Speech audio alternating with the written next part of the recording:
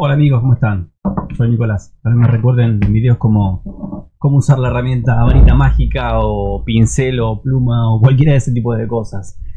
Y otras más, no sé. Bueno, en este video hago una reflexión sobre lo que es eh, para mí el fotomontaje, el diseño, el arte en general. Y algunas reflexiones con respecto a lo que es la, o fue mi paso por la universidad específicamente en diseño.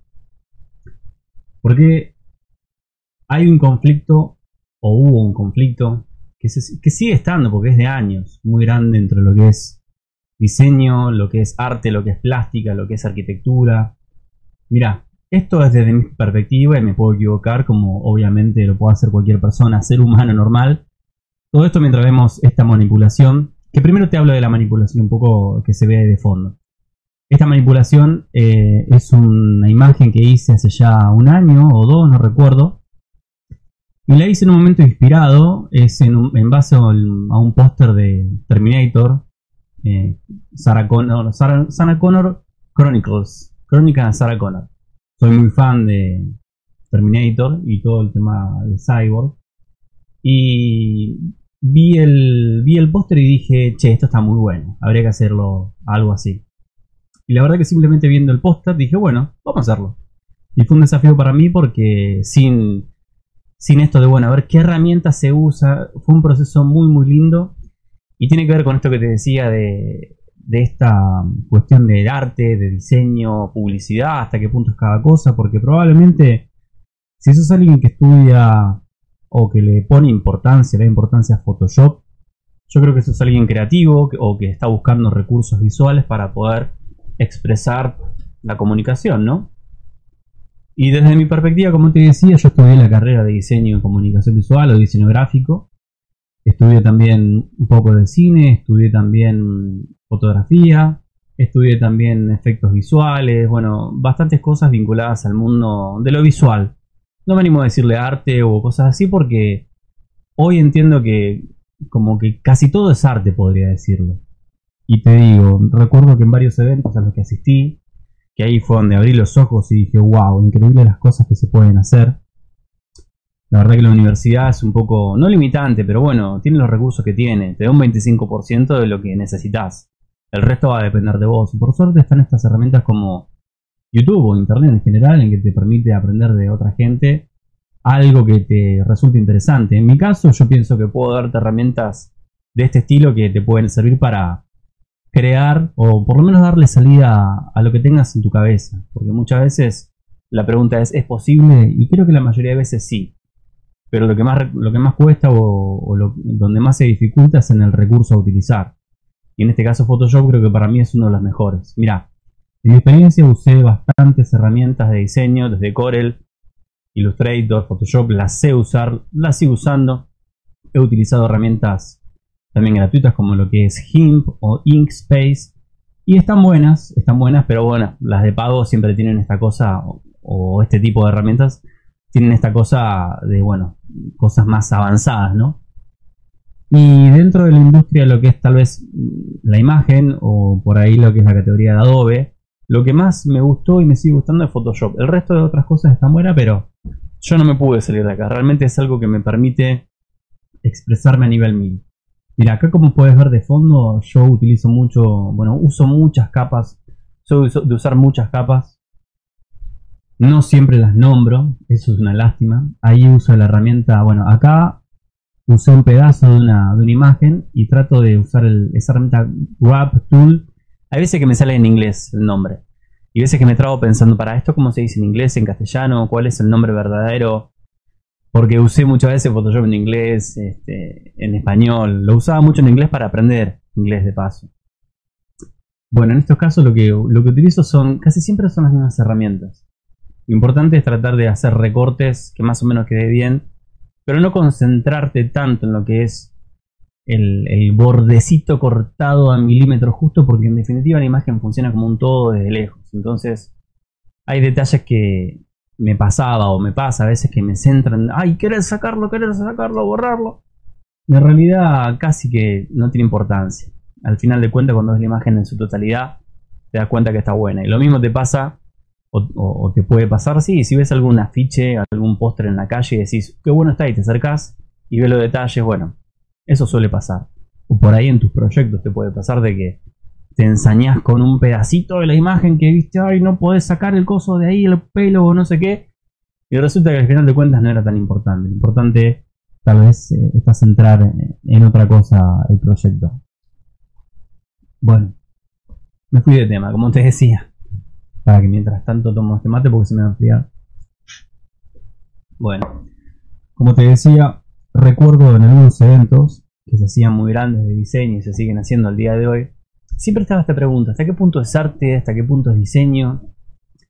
Y la realidad es que no me quiero poner en profesor ni nada, pero a grandes rasgos, eh, el diseño, la arquitectura, salió desde el arte. O sea, pensá en personas como Da Vinci o gente así los tipos eran artistas, o sea, pintaban, diseñaban, inventaban, hacían eh, arquitectura también, o sea, unos grosos total, ¿no? O sea, creían, creaban lo que querían. Y esos tipos eran artistas. Y yo creo que mucha gente por ahí se enoja al decir, pero pará, el diseño no es arte o el arte no es diseño. O sé que muchas veces está bueno. Eh, vos que sois diseñadora es ese dibujito hacemos un dibujito que soy diseñador o que soy diseñador, hace dibujito. Y bueno, una cosa va de la mano con otra, porque muchas veces los mejores dibujos son los que más nos influenciaron o los que más nos impactaron, porque quieren o no, por ejemplo, Capitán América, Vengadores, todo eso salió de la imaginación de Stan Lee, bueno, y otros más. Y, cambió el rumbo de, no sé, de imaginación o cómo comunicarnos, porque pensá que venían eso en historietas y ahora se convirtió en una industria súper enorme de la cual Disney se agarró y otras empresas que, también eh, se, luchan y se matan por los derechos de autor para poder producir las películas y quedarse con el tema de los juguetes, la industria del juguete también increíble. Y a la par de todo esto de la imaginación. Y en el caso puntual de Photoshop, por ejemplo, pienso yo que te permite, como ese primer boceto o esa primera imagen, o ese keyframe, como ese aspecto clave de que le va a dar color o le va a dar forma al resto de, la, de una película o un videojuego. Muchas veces este tipo de imagen, por ejemplo, se crea para darle el toque, el look o la idea a la película en general. Este tipo de manipulaciones o, composiciones se recrea para lo que es publicidad o tal vez, como te decía, videojuegos, porque se toma un concepto de acá y se recrea totalmente. Mira, ahí estoy trabajando lo que es ¿Qué? Opciones de fusión. Sí, estoy bajando lo que es cómo se fusiona las capas dependiendo lo que está en el fondo. Y con respecto a este proyecto en particular, ah, estoy tomando mi mate, perdón, ¿eh? me cuelgo un poco con esto mientras miro. Con respecto a este proyecto en particular, eh, lo lindo es que eso fue un proceso artístico. Yo siempre tuve esta cosa de arte o no arte, y hoy en día te puedo decir que me siento un artista desde el punto de vista de este tipo de creaciones. Y el arte, la verdad que es una cuestión. No sé, mi papá decía que el arte es cagarte de frío, morirte de frío. Y también es verdad. Pero en realidad, arte es un proceso de, expresión. ¿sí? Y en este, este día yo dije, quiero expresar esto porque realmente lo siento. Lo siento, Terminator. Si es por mí, me haría un super tatuaje de Terminator. Obviamente que la 1 y la 2 es la mejor, no vamos a poner eso en debate, pero las miro todas, no me importa. Bien, eh, bueno, acá estoy trabajando, mira, con pinceles específicos para poder tratar de rescatar parte del pelo o recrear nuevo. Esta lucha del pelo fue tremenda. Ah, te cuento algo. Este proyecto estuve más o menos 8 eh, horas en promedio. En realidad la grabación del video es de 8 horas, repartido en diferentes días. Podía sentarme una hora y pico cada día y grabé cada parte del proceso. Después agarré y lo compilé todo. Mm. Mira, ahí se puede ver cómo estoy luchando con el tema del pelo y qué sé yo. Esa fue la parte más difícil. Pero después el resto se basa en luces y sombras. Vas a ver que muchos de mis videos en el canal hablo de darte cuenta de, la parte negra, la parte blanca, la parte gris, o sea, luces y, e iluminaciones de la imagen. Yo creo que llega un punto que ves las cosas como tonalidades de grises. He tenido o he conocido gente dedicada más específicamente al mate painting, por ejemplo, eh, y los he visto trabajar y, darme cuenta cómo le daba mucha importancia al tema de los grises, o por ahí si ves trabajar algún profesional en lo que es pintura o retoque, vas a ver que utiliza mucho el, tema de blancos, negros y grises, porque después de eso se puede matizar, o sea, agregarle, agregarle matiz y darle color. O sea, darle color a un, negro o un blanco o un gris se le puede dar color. Lo vas a ver en alguno de los proyectos. Lo importante es la información de la imagen, o sea, que existe información de la imagen. O si no, recrearla. En este caso, esta chica de la, de la foto no tiene, no tiene un, pelo largo, yo se lo recreo. Esas zonas también, ahí creo que estoy pintando, sí, estoy tratando, tratando de emparejar el color. Lo más desafiante, pienso yo, es que al crear composiciones de este estilo que te sirve, ya te digo, mucho para publicidad, por ejemplo, proyectos de diseño también, eh, es tratar de empatar las iluminaciones y los colores. Porque las direcciones de la luz eh, es lo más difícil, o cómo interactúa la luz con el objeto. No es lo mismo una luz que impacta sobre un objeto, por ejemplo una persona, que la piel absorbe y refleja la luz de una forma que un objeto metálico, ni la dirección de la luz. Yo creo que... Mm, mate, disculpen. Yo creo que que cuando conseguís las imágenes lo mejor es que las puedas conseguir vos desde, una foto eh, lo posible de buena calidad, pero si no siempre queda el recurso de descarga de internet. Yo en este caso descargué de internet. Eh, y bueno, tratar de, que la, iluminación de la imagen esté buena. En este caso es como lateral, la iluminación en la persona. Y en los objetos no hay tanta luz significativa o se puede retocar, o sea, bajando la luminosidad o retocar las iluminaciones, se puede dar esa misma sensación del efecto de luz que entra de un lado y en el otro no tiene tanto. Y eso creo que es importante como para que el resultado final parezca que está ahí, que parezca real, ¿no? O lo más realista posible. Mira, ahí va. Estaba tratando de hacer ahí un, que pase por detrás del, cabello, ahí trabajando con las máscaras. O sea, mucho, mucho, mucho trabajo en máscaras. Y si te das cuenta, no usé mucho la varita mágica. La varita mágica es como para el inicio. Creo que es ese toque mágico para decir, bueno, mi punto de partida. Y creo bastante que es así. Los mejores retoques se hacen con la pluma, eh, la máscara rápida y tal vez la opción de gama de colores. Creo que esas son las mejores formas de recortar. Después el resto se irá ajustando. Pero la varita mágica no la desestimo porque es muy buena y tal vez la más común. Pero. Mm, sí es. Sí es buena como para punto de inicio. Sí es buena para punto de inicio. Mira, ahí tengo. Se puede ver en la miniatura de las capas. Como hay un montón de capas de recorte, carpetas. Trato de trabajarlos individualmente. Por si tengo que volver, puedo encontrar la capa que necesito y no, y no perderla. Eso para mí es fundamental. si me que tomar. Ah, no, estoy bajando la capacidad probando. bueno. eh, y volviendo al tema en cuestión, yo no sé por ahí bien a qué te dediques, si fotografía o dibujo o qué. Todo está vinculado y todo tiene que ver con todo, pero creo que lo que nos une es eh, es una idea, es eh, un aspecto creativo. Eh, son las luces y las sombras. Eso es todo, creo yo. Los colores, ¿sí? Eh, nada. Vuelvo a este punto de inicio de, este evento. Me acuerdo siempre, cada pregunta, se hacían dos preguntas siempre, o dos puntos de debate habían en los eventos de diseño. Que era, el debate era hasta qué punto es diseño hasta qué punto es arte. Y la otra pregunta tan frecuente era con qué programa se hizo el proyecto que presentaba la gente que estaba en, los eventos.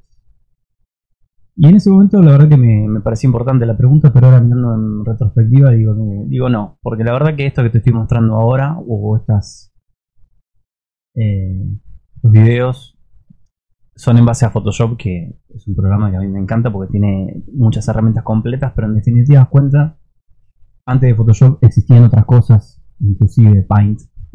no me animo a usar Paint para hacer algo así ahora, pero podría. Eh, pero si antes la fotomanipulación se hacía recortando y pegando fotos, de forma tradicional, ¿no? Entonces la herramienta puede ir cambiando, de hecho se va a ir mejorando, en el futuro Photoshop va a cambiar, va a mejorar o va a dejar de existir, quién sabe. Es más, cada vez hay herramientas que me sorprenden. Por ejemplo, esto de seleccionar sujetos automáticamente es increíble. Es increíble. Eh, pero, pero puede cambiar la herramienta. Sin embargo, como te decía, la fotomanipulación se inició desde el dibujo y desde el recorte de fotos. O sea, básico. Ahí yo lo voy terminando, mira, estoy haciendo como unos ajustes pequeños en cuanto a, a los bordes para destacar lo que es el, el efecto del enfoque, mira. Ahí tratando de, empatar el como el, el, pigmento de la foto y acá haciendo por, por último el texto. Terminator Sarconnor Chronicles. En el canal voy a hacer más efectos y montajes. La verdad que es algo que me apasiona mucho y me gusta. Pero son procesos creativos en los que es muy difícil decir el paso a paso. La realidad de la cosa es que es muy difícil decir, bueno, paso número uno, recortar acá, paso número... Es realmente un proceso constante y continuo que, es muy difícil sistematizarlo. No creo que haya una forma exacta de sistematizarlo, salvo que sea algo bastante no tan complejo. No simple, sino no tan complejo. No creo que haya cosas simples, creo que cosas no tan complejas. Eh, bien, mira, ahí quedó. Me quedó, me sigue gustando, me sigue gustando, es uno de los que más me gusta. Y, y vamos a hacer más, vamos a hacer más porque vamos a diseñar con arte y hacer arte con diseño. Vamos a hacer las dos cosas. Así que te invito a ver los próximos videos. Salud. Vamos a crear cosas bastante increíbles. Vamos, suscríbanse, dejen comentarios, qué opinan ustedes, diseño, arte, qué creen al respecto. Me interesaría saber sobre el tema. A ver, vamos a dejar ahí, se vea bien, Sarah Connor Chronicles. Ahí la dejo en pausa. Me gustaría saber qué piensan ustedes acerca del diseño, del arte, fotomanipulación. La verdad que, te repito, es algo que me apasiona muchísimo. Voy a seguir haciendo y subiendo videos de este estilo. Espero que les, guste. Voy a tratar de sistematizarlos mm. Para indicar un paso a paso, pero ya te digo, es un proceso artístico como que Picasso, no porque me compare con Picasso, ¿no? pero como para poner un ejemplo, decirle a Picasso, Picasso, ¿cómo hiciste este cuadro? Hacen un, un tutorial de cómo hacer el cuadro este que hiciste. Y el tipo te diga, bueno, mira, acá primero pones esta forma, después la otra. No, el tipo se deja llevar porque es un proceso emocional. Pienso yo. O sea, dentro, dentro de todos los procesos que conlleva, es un proceso emocional que uno va experimentando. Es como cuando uno se va declarando o le va declarando el amor a, una persona, ¿no? O, lo que siente, qué sé yo. Es como ir de, irse dejando llevar. Acá es lo mismo. Entonces, sistematizarlo cuesta. Y cuando lo hago, por ahí me trago un poco, lo van a poder ver en esas situaciones. En ese caso prefiero hacer todo el video y después ir hablando arriba como un poco ahora. Mm. No sé. Eh, para mí es eso. Es diseño, es arte, es como un poco de todo y de todo un poco. Mm. Total, al fin de cuentas, eh, hacer las cosas con arte creo que tiene más sentido. En el arte hay más pasión, hay, hay, más calor. Mm. Bueno, espero que les haya gustado esta, esta imagen, esta manipulación. Puede tener detalles, como no, como las tienen todas, pero está linda, está linda la foto manipulación. ¿eh? Así que bueno, los invito a ver más, a ver más y a, que me cuenten, a ver qué piensan ustedes al respecto. Bueno, de acá un saludo. Me quedo tomando mate y siguiendo pensando sobre esta temática y siguiendo creando en mi mente porque la verdad que no puedo parar de crear. Si hay algo que me gusta de jugar a la Play, eh, correr, hacer algunas actividades y dentro de ellas eh, photoshopear. La verdad que Photoshopper es una de mis pasiones e intereses que, que no puedo dejar de hacer, es un vicio. Así de lo puede ser. Amigos, nos vemos la próxima. Chao.